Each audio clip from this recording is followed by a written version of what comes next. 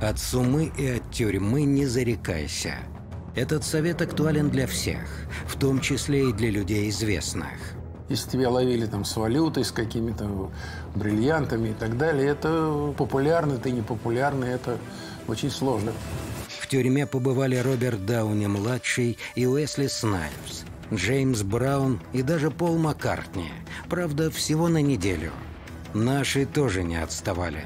Певец Сергей Захаров устроил за кулисами мордобой и попал в колонию. Владимира Долинского и Юрия Айзеншписа судили за валютные махинации. Георгий Юматов и Валентина Малявина сидели за убийство. Была очень страстная натура, как выяснилось. И это далеко не полный список советских мастеров искусств, побывавших за решеткой. Учтите, Попадете за решетку, я вам передачи носить не буду. Нет! Как человеку тонкой душевной организации выжить среди уголовника? Он выживал в каком мире? В мире волчар. В мире людей, преисполненных уверенности, что ты ничтожество. Кому из артистов тюрьма сломала жизнь и карьеру? Для него это вообще было невероятной мукой. Есть ли шанс начать новую жизнь и вернуть славу? И помогает ли горький тюремный опыт в жизни на свободе?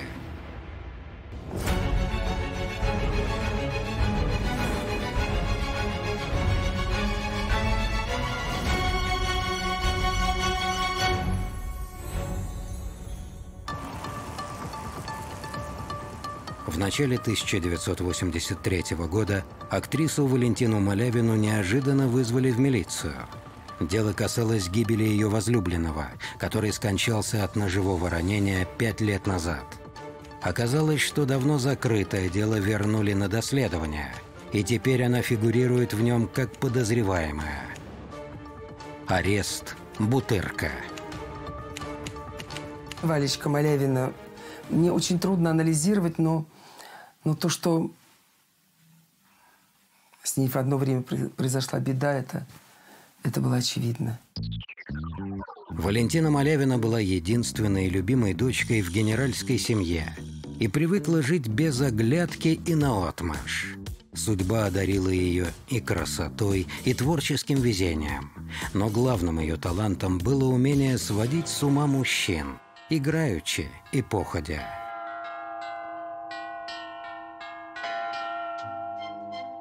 Александр Збруев, Андрей Тарковский, Павел Арсенов, Александр Кайдановский были готовы ради нее на любые подвиги. Тогда она была божественно потрясающей с этими глазами, губками розовыми, которые даже она не подкрашивала, румян, ну, ну хороша, невыносимость. Увы, не только за окном прошли с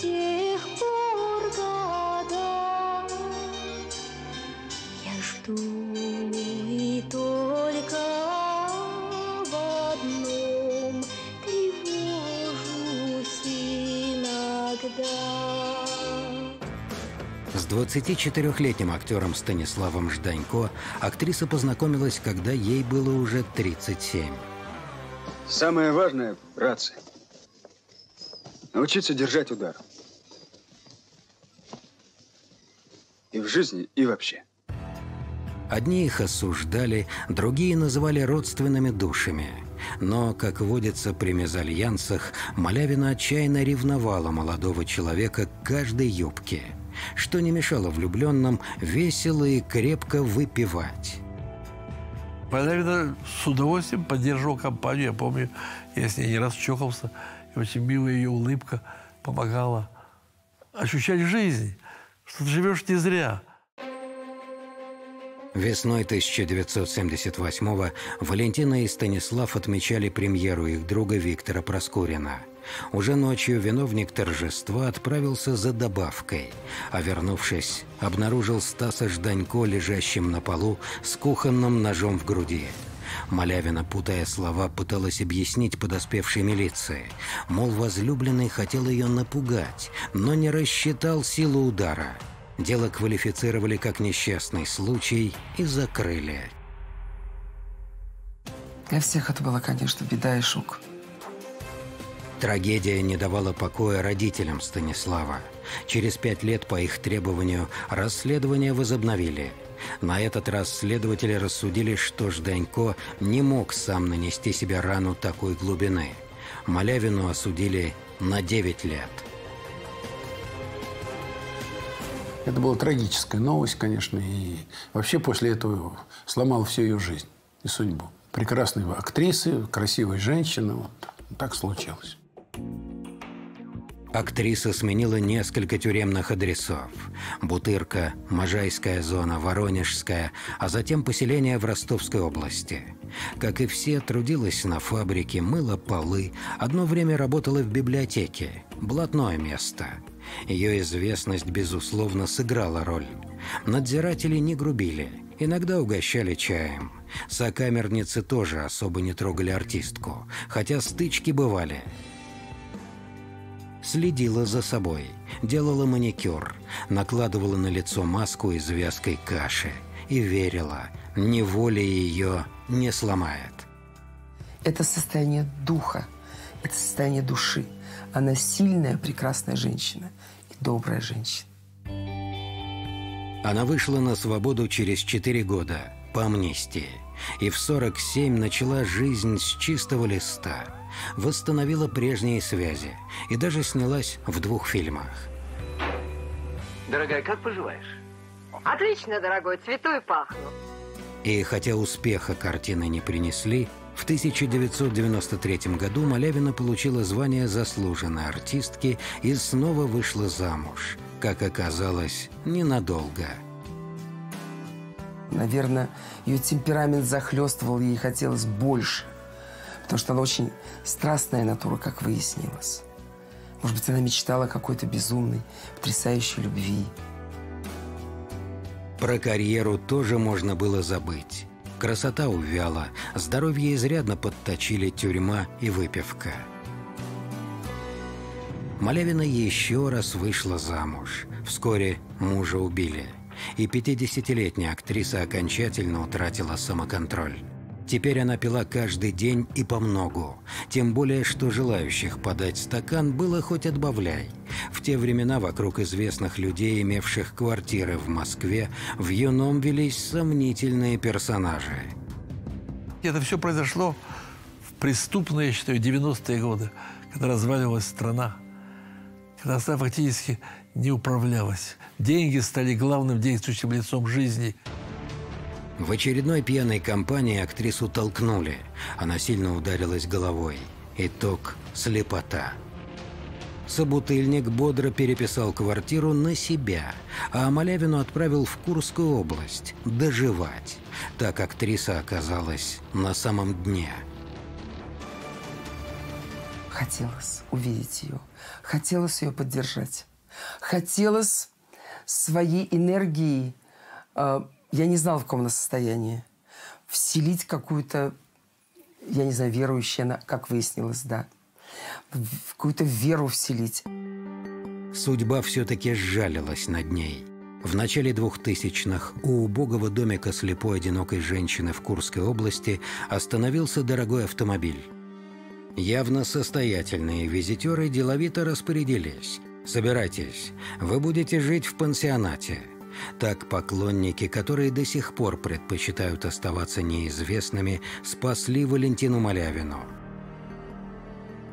Кстати, вину в убийстве Станислава Жданько актриса так и не признала ни на суде, ни в последующих интервью.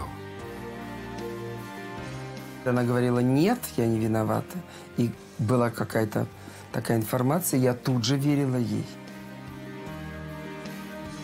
А вот актер Георгий Юматов, напротив, вину признал. Но это не принесло ему облегчения. Душа болела до конца жизни. Милиция. В марте 1993 года он сам набрал 02. «Судите меня. Я убил человека». Милиция приехала быстро. На полу действительно лежал мужчина с пулевым ранением. Народного артиста доставили в отделение – когда у него вот эта неприятность произошла в конце жизни, не дай бог врагу не пожелаешь такого, вот, то мы, в том числе и я, и другие актеры, встали на защиту Жоры. Актера отправили в матросскую тишину. Дело было громким. Юматов – кумир эпохи. Как такое могло произойти? Друзья не отрицали. Георгий Александрович – человек импульсивный, принципиальный и вдобавок с молодости крепко пил.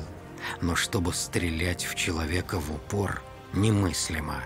Все знали, честь для Юматова – не пустой звук.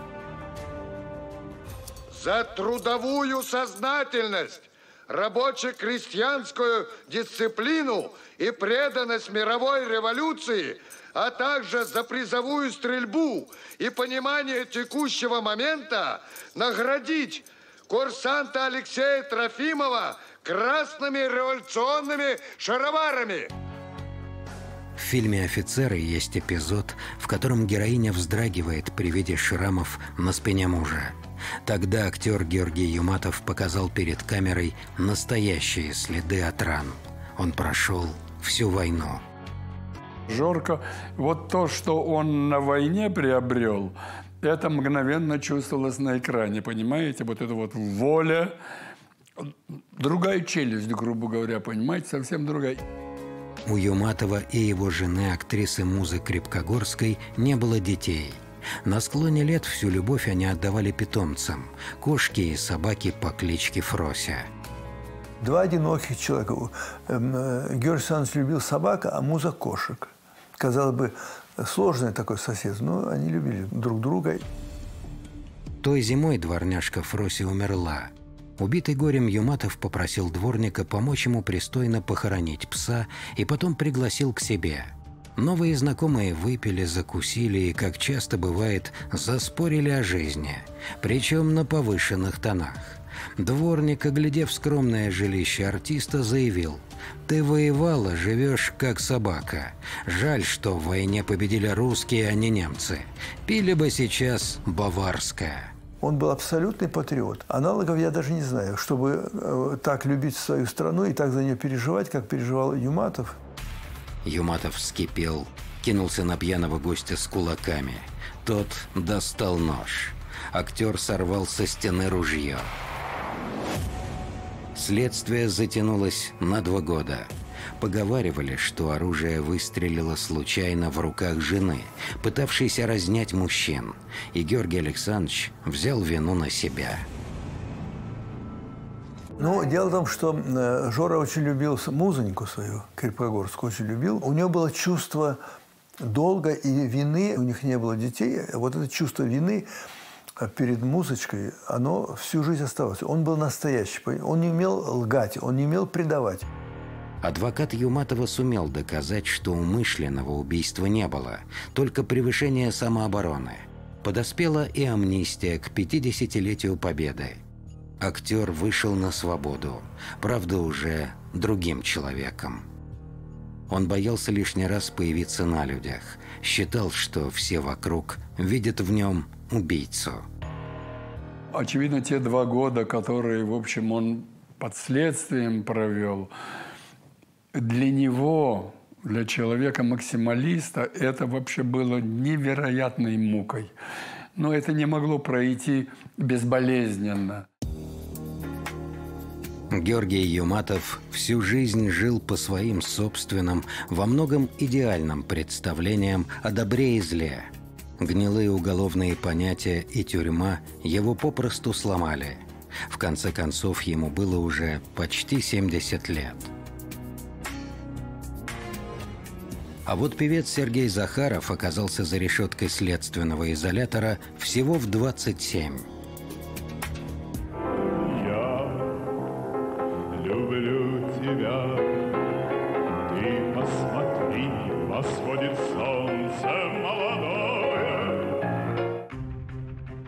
1977 год. В ленинградском мюзик-холле лихорадочно ищут замену Сергею Захарову. Никто не понимает, что происходит, ведь молодой певец – гвоздь программы любого концерта. По углам шепчутся, на артиста завели уголовное дело. А сам Сергей Захаров тем временем обживался в СИЗО «Кресты». Кто мог предвидеть такой крутой поворот судьбы? Еще вчера он был на гребне успеха, а теперь нары и тюремная похлебка. То есть повод нашли, но причина была гораздо глубже. Я вот в этом просто уверена, потому что я никогда не поверю, что это просто была какая-то вот такая вот потасовка. Карьера студента Гнесинки с глубоким бархатным баритоном развивалась стремительно. В 24 года он победил сразу на двух международных конкурсах – «Золотом Орфее» в Болгарии и «Сопоте-74» в Польше. И останавливаться на достигнутом не собирался – он же «Яблони в цвету» первый исполнил. И мы получили золотую Братиславскую лиру. В 1975 году Яблони в цвету, весны творение, яблони в цвету,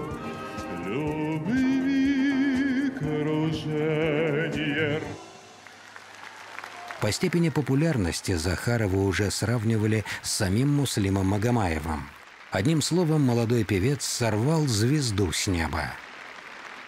Потому что, ну, помимо сил, у него был большой по диапазону, настоящий профессиональный голос, но он был с удивительно красивым тембром.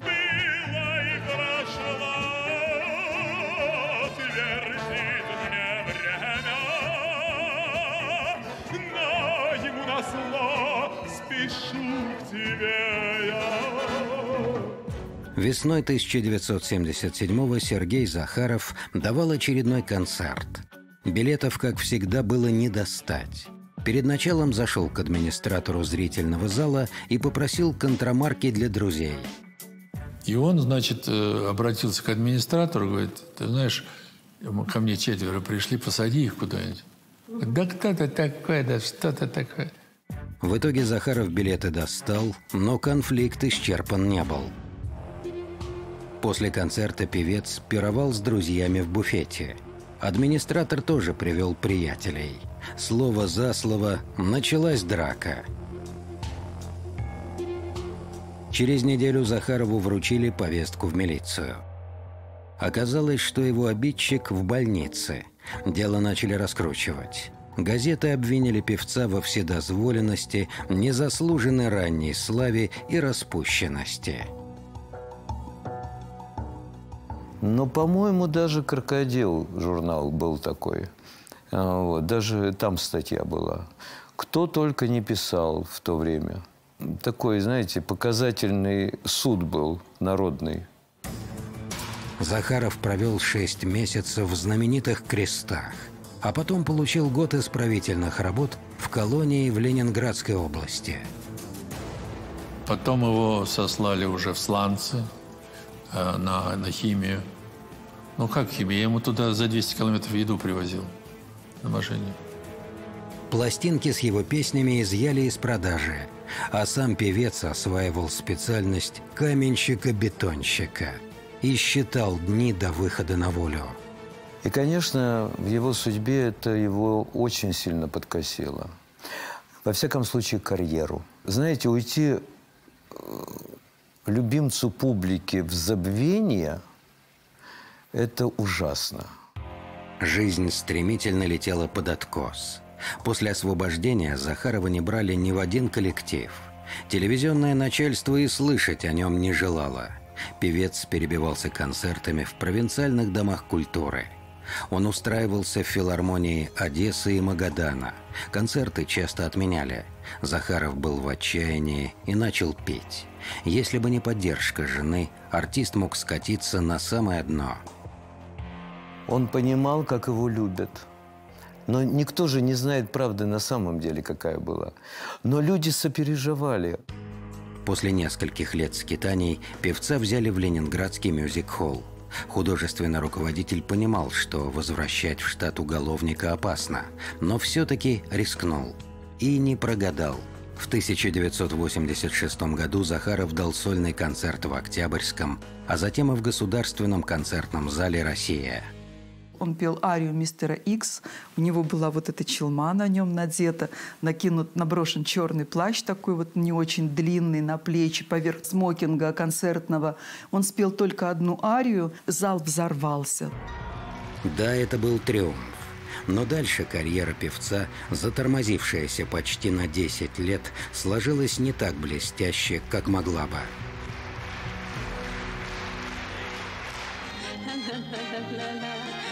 Актер Владимир Долинский после четырех лет, проведенных за решеткой, тоже понимал, что стать звездой первой величины ему уже не светит. Обещал подарить ей автомобиль, а подарил кольцо с фальшивым бриллиантом. Почему? Он просто не нашел фальшивого автомобиля. В 1973 году Долинский возвращался с приемной дочкой домой с прогулки, когда прямо у дома скрипнули тормозами две черные «Волги». Выскочили люди, скрутили, запихнули в машину. Операция выглядела как недоразумение – но сам актер, звезда комедийного сериала «Кабачок 13 стульев» понимал – это не ошибка. Это было очень серьезно, имея, так сказать, если тебя ловили там с валютой, с какими-то бриллиантами и так далее, это популярно, ты не популярный, это очень сложно. Как и всем, в условиях вечного дефицита артистам тоже хотелось жить чуть лучше, чем положено. Крутились кто как мог. Кто-то договаривался с концертными администраторами и мухлевал с билетами. Те, кто ездил за границу, нередко спекулировали тряпками и техникой. Молодому артисту театра сатиры Владимиру Долинскому знакомый тоже предложил сколотить легкие деньги – он сам был питерский, ленинградец. А, и он говорит, у нас, знаешь, какая разница в цене между э, питерским комиссионным и московским? В питерском комиссионном можно купить там за 100 рублей, там подсвечник, а в Москве за него 200 дают.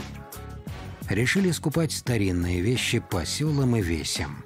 Дело оказалось захватывающе прибыльным у нас было 3-4 дня, поехали. И обратно взяли там, я не помню, какие-то вазочки антикварные. А он очень хорошо сек в антикваре.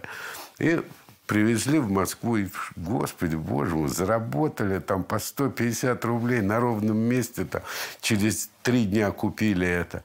Доверчивые старушки отдавали разговорчивым гостям многие вещи даром, а стоили они как пять отработанных спектаклей. Дело пошло, и в один прекрасный момент нарисовался иностранный покупатель с валютой. А что, валюта? А что я с ней делаю? Ну, ты продадим, возьмем валюту, а потом валюту. И вот так вот втянулся в это, и, шутя играючи абсолютно. Даже не столько из-за денег, сколько это была интересная азартная игра. Игра тянула на 88-ю статью Уголовного кодекса. До 15 лет лишения свободы. Но Владимира это не остановило. Ну, ну он вообще по, по натуре такой а, а, авантюристичный человек. Наверное, он, так сказать, такой рисковый, скажем так. В то время раскручивалось большое дело о валютных махинациях, прикрываемых чиновниками внешторбанка – Поэтому и за мелких валютчиков взялись по-взрослому. Спустя несколько недель артист уже обустраивал быт на нарах. Там перестукивались в соседней камере. Нашел своего доброго знакомого, которого посадили. На э, фишках мы играли в преферанс. Это было так интересно. Выучил там тюремную азбуку. Супруга почему-то на свидание не приезжала. Однажды мать написала в письме «Володя, у тебя больше нет жены». Оказалось, подруга жизни попросту выписала мужа-уголовника из трехкомнатной квартиры. Его место быстро занял другой. Для Долинского это было потрясением. Я хотел покончить с собой. Просто потому, что я жил тем, что у меня там Наташка, моя жена, она, я ее взял с маленьким ребенком, там 4 годика было, доченьки ее, Ольки, которая скоро меня начала называть папой. Это был для меня страшный удар, конечно. Долинский вырос в благополучной интеллигентной семье. Однако отец, главный инженер Литфонда, учил сына в любой ссоре бить первым. Мне мой папа когда-то сказал, ты голубоглазенький, у тебя ресницы длинные, отчество у тебя Абрамыч. Глазки добренькие-добренькие, тебя обижать будут. Но запомни такую истину. В мире нет бойца смелее, чем напуганный еврей. Бей сразу, сыночка, в глаз, как в бубен. Видел, как Тамара Ханум бьет? Я взял на вооружение это. По жизни я прошел, в общем-то, с таким лозунгом. Шел в атаку, не раздумывая. Он всегда был вспыльчивым, непримиримым и рисковым. Ему достаточно маленькой искорки, чтобы возгорелось пламя. Но это пламя также быстро может и потухнуть. Хотя, наверное, он таким был всегда. Но теперь он вырабатывал в себе новые качества. Учился терпеть, ждать и догонять. Догонять упущенное время – Потому что самая большая боль в лагере у меня была не от того, что у меня там были руки в крови, от того, что я ломом молотил лед. Я упускаю время, я упускаю... Долинский вышел на свободу, отбыв 4 года из пяти, благодаря ходатайству артистов театра сатиры. Но в родную труппу актера с непогашенной судимостью худрук театра взять не осмелился. Устроился в театр Ленинского комсомола к Марку Захарову. Теперь предстояло самое трудное – нагнать упущенное, что втройне сложно, когда вокруг соцветия молодых, но блистательных талантов – Абдулов, Янковский, Караченцев. Мне приходилось ждать, ожидания, понимаете ли, у кабинета главного режиссера дадут или не дадут роль несравнима с тем, когда ты сидишь в автозаке, холодный, умираешь в туалет и должен терпеть, и ты терпишь часами. Роли и в театре, и в кино были, но небольшие и нечасто. Не унывал, брался за любую работу, а когда ее не было совсем, садился за руль и таксовал.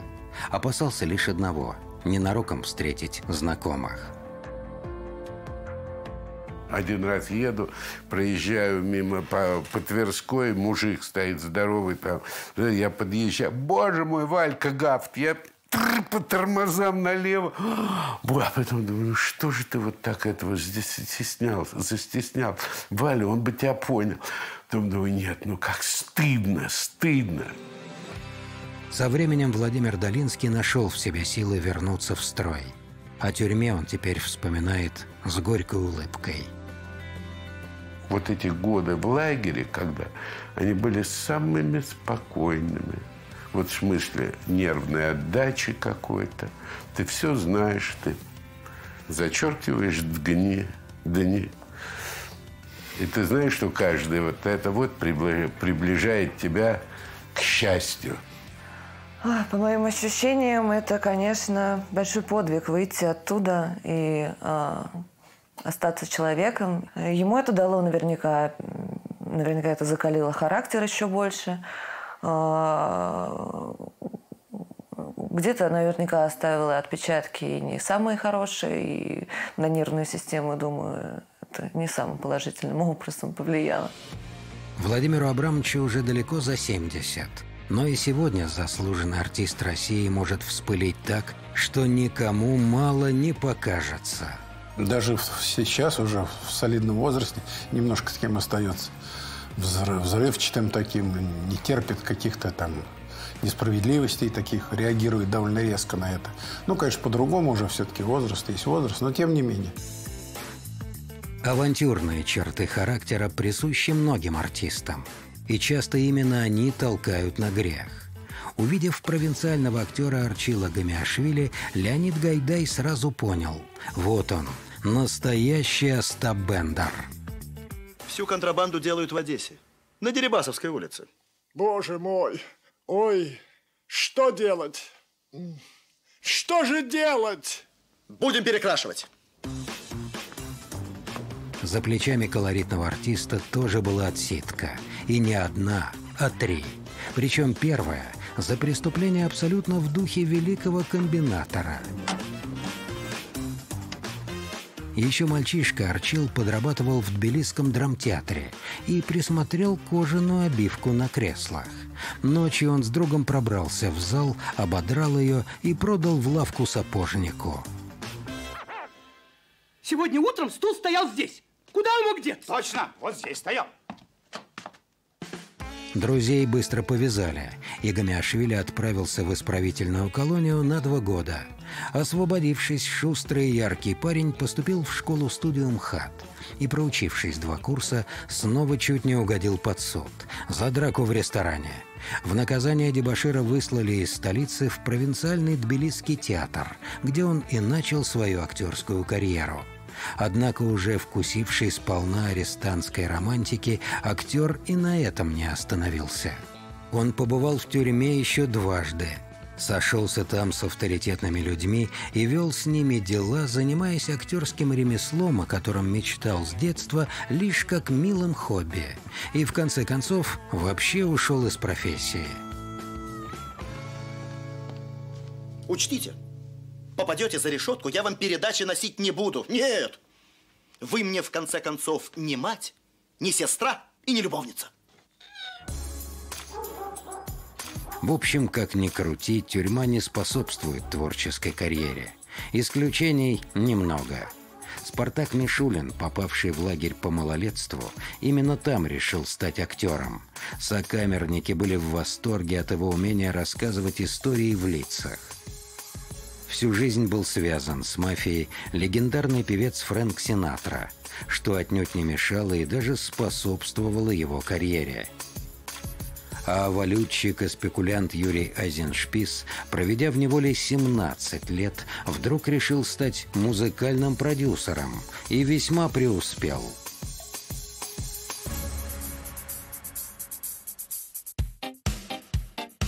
В конце 80-х власть чиновников от искусства и директоров залов близилась к закату.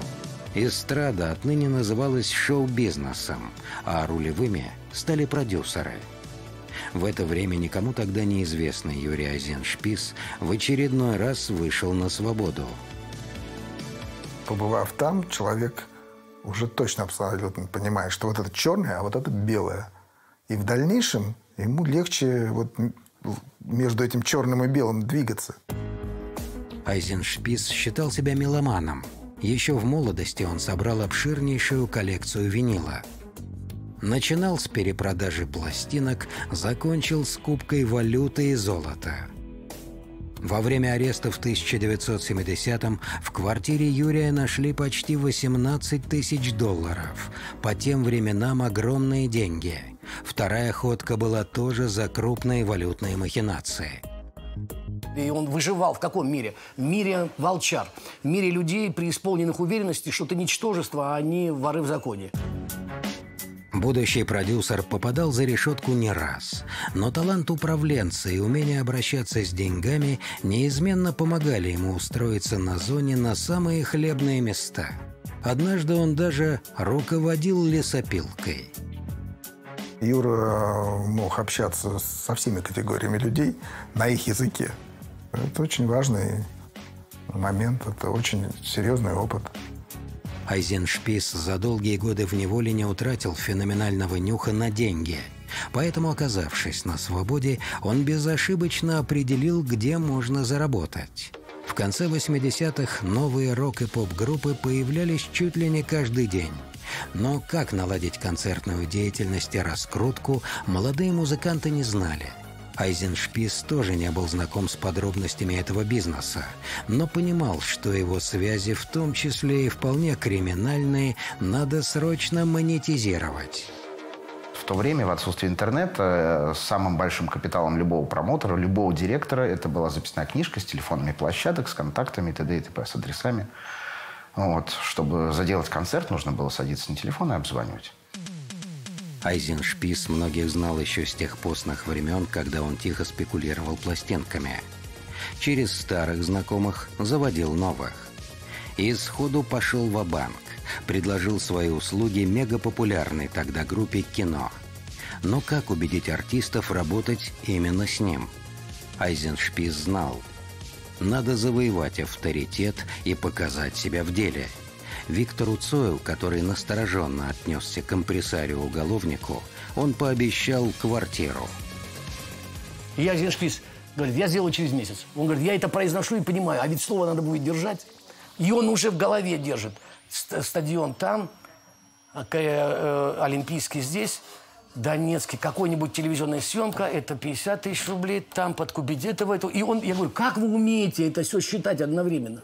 Он говорит, а как я считал э, в, в тюрьме судьбу 125 человек? Деньги за концерты по всей стране полились рекой.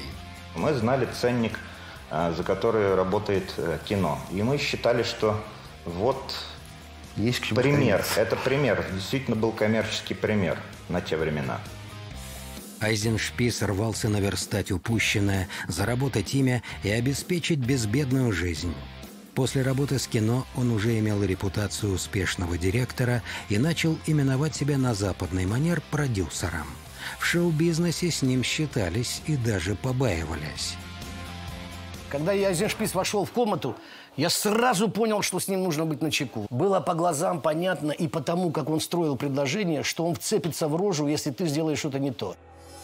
Музыканты из группы «Технология» поражались, откуда столько энергии в этом тщедушном, уже не слишком здоровом человеке. Он вставал там часов в 6-7 утра, и уже в 8 утра садился на телефон и начинал всех обзванивать. Все вешались. То есть вся богема, так сказать, вся музыкальная тусовка, она в это время там недавно легла спать, а тут в 8 утра. Привет, это Зишпиц. Вот не хочешь взять технологию на концерт? Тюрьма приучила Айзеншписа к жесткой самодисциплине. Такой же самоотдачи он требовал и от артистов. Он нас гонял по концертам, и, кстати, стоили мы достаточно дешево. Он брал валом, у нас было по 4 концерта в день. Это очень тяжело физически было даже в, в молодом состоянии. Певцам группы «Технология» такой режим работы не нравился. Они потребовали больше денег и в итоге разругались с продюсером насмерть. Дошло до разборок с участием бандитов. Обе стороны искали, Юра, ты не прав. То есть его же бандюки, его же крыша. Сказал, денег нет, отдам то, что я вам должен, рекламной продукции. И мы, блин, всю ночь грузили КАМАЗ с плакатами гигантскими, с афишами, которые все это нафиг не было нужно. Группа «Технология» разорвала сотрудничество. Тогда Айзеншпис решил сам создавать звезд с нуля. Он заявил, что популярного певца можно слепить из любого парня с улицы. Так появился Влад Сташевский. Продюсер не боялся критики и буром пробивал дорогу своим артистам. В ход шли не только дипломатия, но и подкуп и шантаж. Все, чему он научился на зоне – Он говорит, шоу-бизнес криминальнее тех людей, которыми я бы отсидел срок.